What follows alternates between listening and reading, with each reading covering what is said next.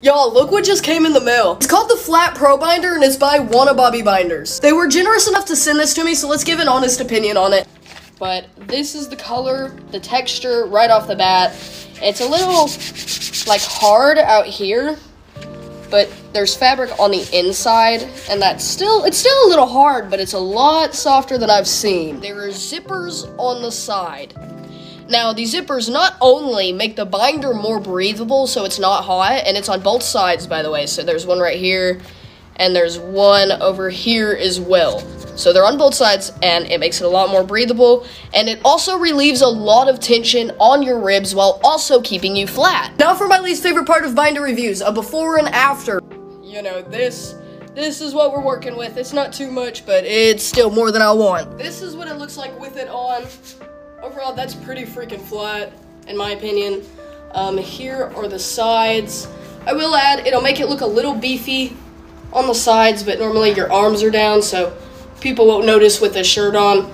But I'm still flat while these are open, and it gets like a lot more air on the sides. Quick 360, this side, you know, pretty relatively flat. Um, back, don't mind my saggy ass britches.